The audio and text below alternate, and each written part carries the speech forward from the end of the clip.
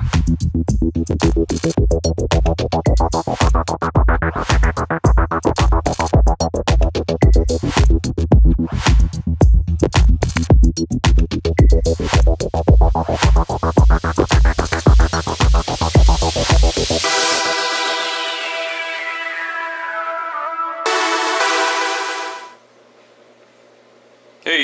Brian here again. Just coming at you with an update. It's been a few weeks, so I thought I would just kind of go through and uh, show you all the tanks. Tell you what's been going on. There's been some changes, gotten rid of some stuff, got some new stuff. And uh, so we'll show you all that in a minute. Um, but uh, first of all, I just wanted to thank all my subscribers. I recently uh, hit the 3,500 mark, and I'm actually pretty close to 3,600 now since that happened, but I just haven't done a video since then. And I just really appreciate all my subscribers that take the time to watch my videos and subscribe and comment and talk to me and stuff like that. Um, it just blows me away that I would ever get to this point. Um, and it's not something that I'm like shooting for to get more subscribers and stuff like that. I just started doing this to share my tanks with you and interact with other hobbyists and it's it's really done a lot more than what I thought. So thanks to every single one of you guys that subscribe. I really appreciate it.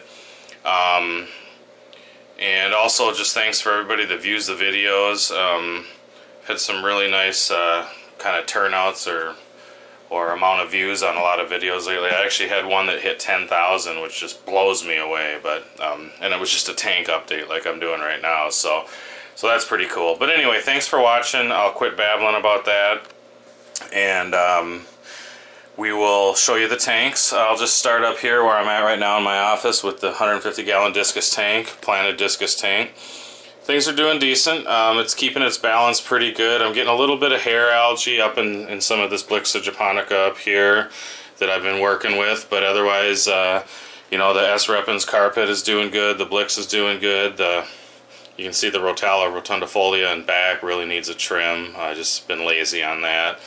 But, um, and the AR Mini's doing okay. Um, I'm still this this plant is still a tricky one for me to figure out how to really get it to take off and and and get really red like it's supposed to be. But uh, the discus are all doing fairly good, uh, except for one. Um,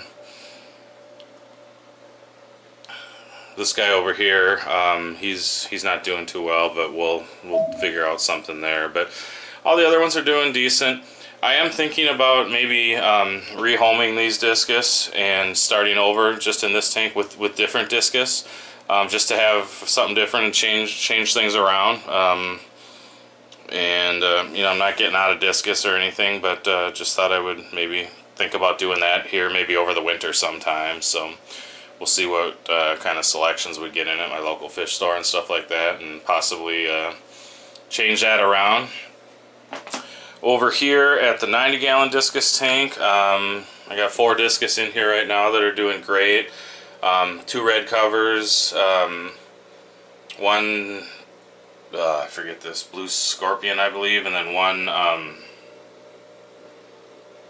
reflection D. The reflection D and this red cover breed, and then when I brought these two new ones in, I believe that or I shouldn't say that they breed, but they, they spawn and then the eggs always get eaten just because of all the other fish in here and everything. But I think last time what happened is the two red covers actually paired up and, and laid eggs. I didn't see it happen, so I'm not sure, but once there was eggs laid, um, the two red covers were actually guarding them and um, keeping the two blue discus away, so it's hard to say for sure, but really digging these guys the way they look, especially this guy. I mean, just look at, uh, I don't know if that comes out on video, but it's almost like a shiny blue. Uh, the plants in here are doing better than last time. The Blix is doing real great along the back.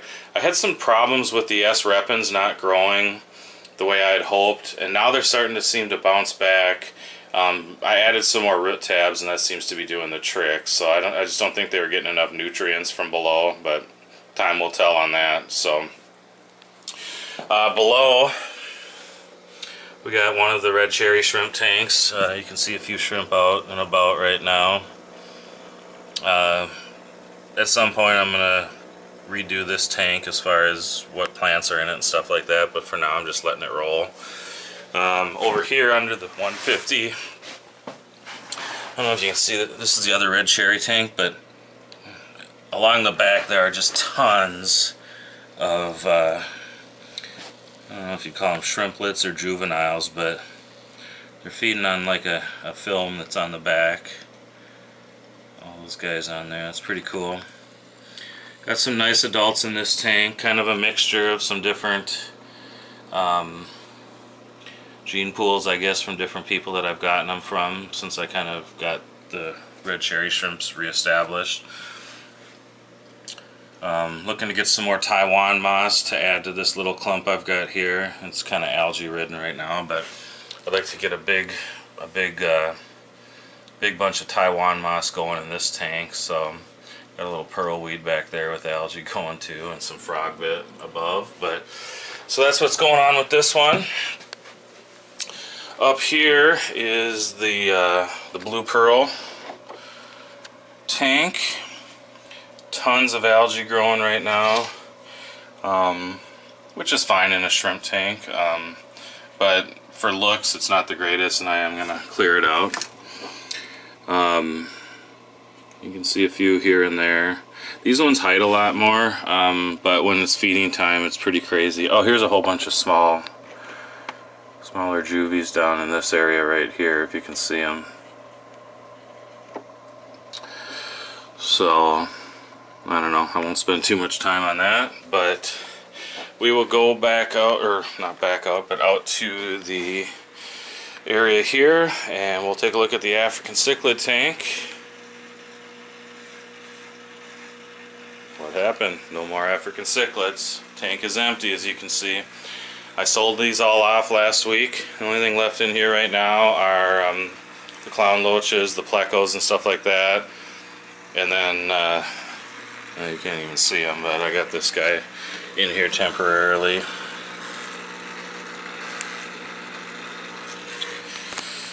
So this is, hopefully this weekend here, I'm going to tear out um, the crushed coral and the undergravel filter. I'm sick of having an undergravel filter in here. I don't need it. I've got two Marineland C530s underneath.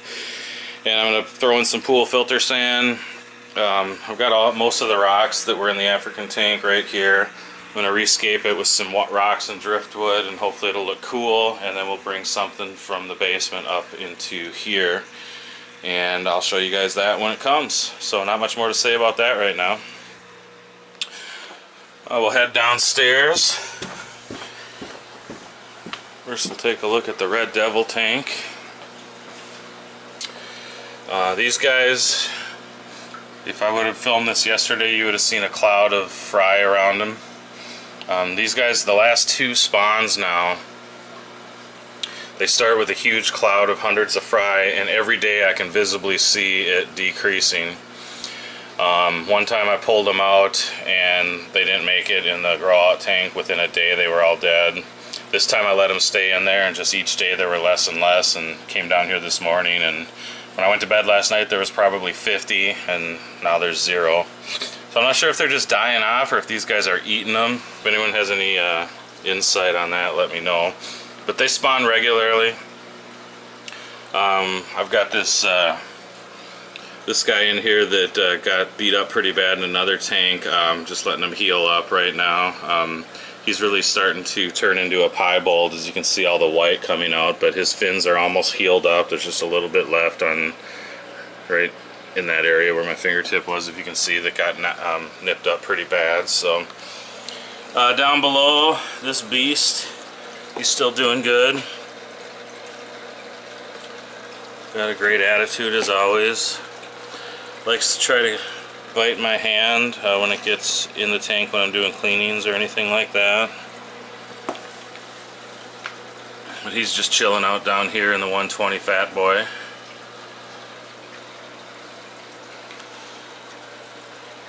Possibility that I'll bring this guy upstairs into that tank I just showed you. Not sure yet.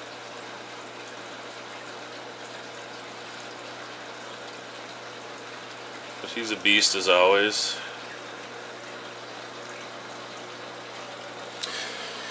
Alright, moving along around the corner here. Start on top. Got the uh. Still got nine of them in here. Two of them are really growing faster than the rest. Actually three, but two are a little bigger than the third one. But this guy's one of the three. This one back in the flower pot here. And then these guys are hiding right now, I'm not sure, but this guy, he's kind of he kind of rules the tank right now. He's got a nuchal hump already coming on, but they, they like to hide behind this pot once I put it in there um, till it's feeding time. This tank is getting replaced. Um, I've got a 75 gallon sitting in the back of my truck right now that uh, is going to go up here instead of this 40 long so they'll have more space. Keep growing them out until I can get a pair and then I'll get rid of the rest of them. Um, below we got the shrimp tanks and one sick African left that I'm trying to, uh, he's got a real bad case of sunken belly. Trying to cure him, we'll see. Uh, red Rili tank filled with Java moss. Um, don't see any out right now. I've got it so densely, oh there's one. There's some molts back there it looks like too. Um, got it so densely densely um, planted with Java moss that I don't see them all that often, which maybe was kind of a mistake, but whatever. Um, this is the Carbon Rili tank. You can see the frog bit is really growing downward. There's one right here. These Carbon Rilis, if I had to do it all over again, I would get um, kind of that uh, reddish colored substrate um, because they're so dark it's hard to see them all the time on the black substrate.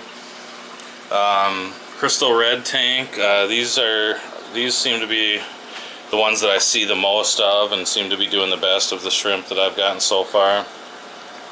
Sorry about the reflection there. Um, you can see them, there's some on these uh, Manzanita driftwood here. Try to zoom in for you. Some in the back there by those crypts. One right here. Um, different grades. There's one of the couple of the nicer ones with just the one red band, higher grade. Um, below, nothing special here, just one of the planted grow out tanks. Um, still got a ton of Blixa if anybody needs some. It's trim time again. I sold a bunch of it before and now I'm ready to sell a bunch of it again. Let me know if you need some Blixa or any of the plants you see in here. I got a bunch of uh, Limnophila aromatica that's grown up to the top and ready to trim. So uh, let me know on that. Also over there there's a, a ton more of plants that uh, need trimming. I got a bunch of Anubias barteri Big, big chunks here. Let me see if I can grab one. These are real nice sized. Um, I was at a local fish auction a couple weeks ago and one, uh, these were going for like 20 bucks a pop. They're nice sized plants. Um, thinking I may get rid of some of those too, so let me know if you're interested. Got some Anubias nana down here.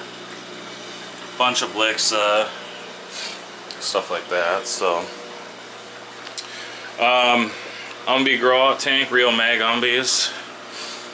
I thinned the herd a little bit and uh, gave about half of what I had back to Mike, Mike Mann. Um, by the way, too, he just hit 200 or 2,000 subs. Go check out his channel. Um, the guy deserves a ton more subs than that. He's got a great channel, some of the best tanks on YouTube. Um, so go check him out and make sure you subscribe.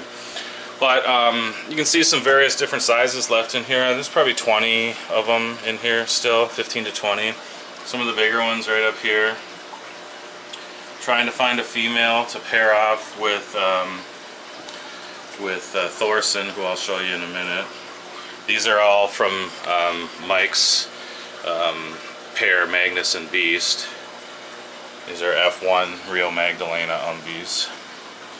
they it's just unbelievable how freckled up and nicely these have turned out as they started to grow out. Um, some of the best umbies I've seen out there, so I'm really happy to have these, and um, hopefully we'll end up getting a good pair um, with some of these specimens here. So um, below we have got this. This is just the chaos tank right now. So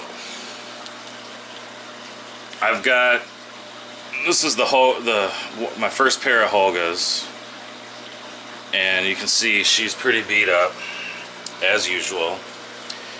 Um, I divided them, and I kind of used the method with the hole in the divider. And all she wants, all she did was keep keeps going back over to this side of the tank um, for more. She really wants to spawn with him, I think. And um, in the meantime, I had thrown in the three other red devils that I had because those other ones were spawning. And in the meantime, these two set up camp over on this side and spawned, and you can see a cloud of fry there. So now I can't really, I don't really want to put her back over to here and close the door, as, if you will. So I'm just kind of letting things happen and playing out. She gets beat up, but not anywhere near death. Just it's she looks bad, I'm going to admit that, and I don't like seeing it, but that's kind of what's going on right now. I'm kind of just, I guess, letting them sort, sort it out, if you will, and see if, see if anything's ever going to happen. If not, I'll find something else out. Got a couple of Accordi left in here. There's my um, albino sailfin out right now, too. So, so that's what's going on in this tank. Up here is the other Hoga tank. Got some Bocourti in here, too. It's Triton beastly as ever.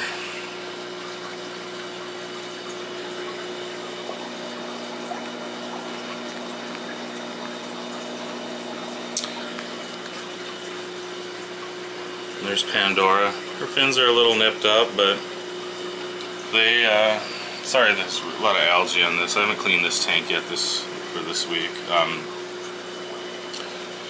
they continuously make me think they're going to spawn, but they never do. I mean, I don't know if it's ever going to happen or not. You can see her tubes down.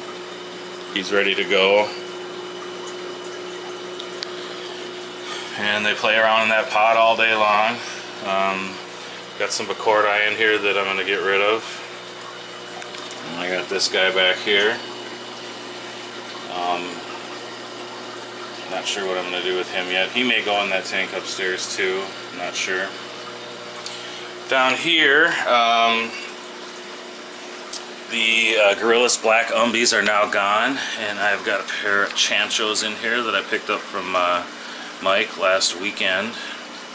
They're getting along great so far. Um,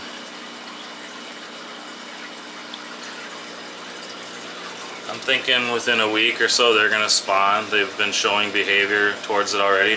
When I got these last weekend, they were sitting on some wigglers that, uh, so they had just spawned uh, over at Mike's place, but they really look like they're wanting to. Uh, her tube's partially down and stuff, so showing a lot of the signs. Um, so I'm liking these guys so far. Um,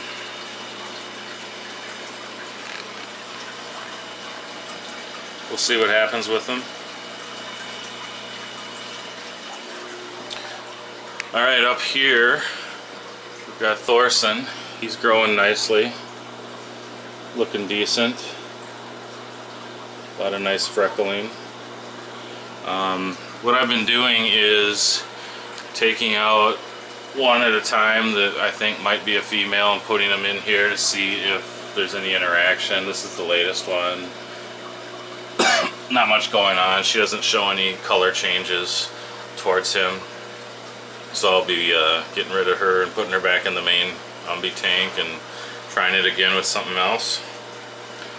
But there's that's about all. Oh, and, and I've got a second 75 out in my truck that's going to replace this 55 up here too. So that'll give them some more space. When I sold off my Africans, I decided to keep Big Sexy. So he's right here. Not sure if I'm going to keep him still or get rid of him, but and his female's in there somewhere. There she is back there. And then I've still got one of these uh, females and one male of these like four four inch ones that were um, that came from this pair. So I've sold off all the rest of them. So these are the last two I've got for sale. Uh, next door here is uh, the one batch of uh, Red Devil Fry that I've uh, kept at this point. They're doing decent. I've still got like seven or so um, Gorillas Black Fry. Not sure why I kept them, but I did. And then uh, the Venustus Grow It's the ones that I've always been saying are one inch, are getting closer to two. And I've got four left of the ones that I was selling as two inch, and they're pretty much three inch now. So if anyone's looking for some Venustus before things get too cold, um, let me know. We can work something out and ship them off to you. I already talked about the planet tank below. So really that's about it for now, guys. Um, I want to uh, again thank everybody that watches my videos and subscribes and and uh, takes the time out to to uh, comment and watch my videos and stuff. Means a lot to me. It's it's just a really cool thing the way we all interact within this community on on YouTube and uh, on Facebook and stuff like that. Um, I want to make sure everybody goes and checks out Aquatic Support Systems on Facebook and go over and join the Aquatic Support Community group on Facebook and Fish Keepers Classifieds if you've got fish or equipment that you're looking to sell or buy. Um, it's a good place to do that. And stay tuned. Um, be some uh, new stuff coming forward with Aquatic Support Systems uh, pretty soon. And make sure you check out all the YouTube channels of the members of Team Aquatic Support. Um, they will be listed below. So, thanks for watching, guys. Uh, make sure you uh, hit that like button, comment, subscribe, and uh, we'll talk to you soon.